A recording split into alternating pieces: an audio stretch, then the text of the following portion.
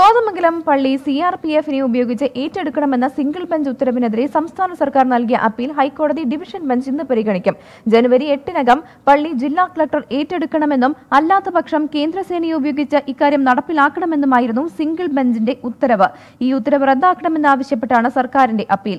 ജില്ലയുടെ അധികാരിയായ കളക്ടർ പള്ളി ഏറ്റെടുക്കണമെന്ന മുൻ ഉത്തരവ് നിലനിൽക്കെ സി ആർ പി എഫിനെ നിയോഗിക്കുന്നത് നിയമവിരുദ്ധമാണെന്നാണ് സർക്കാരിന്റെ വാദം. അപ്പീലിൽ തീർപ്പുണ്ടാകുന്നതുവരെ സിംഗിൾ ബെഞ്ച് ഉത്തരവ് അടിയന്തരമായി സ്റ്റേ ചെയ്യണമെന്നും ഹർജിയിൽ ആവശ്യപ്പെടുന്നുണ്ട്. സിംഗിൾ ബെഞ്ച് ഉത്തരവിനെതിരെ യാക്കോബായ സഭാവിശ്വാസികൾ നൽകിയ ഹർജിയും സർക്കാർ അപ്പീലിനോടൊപ്പം പരിഗണിക്കും.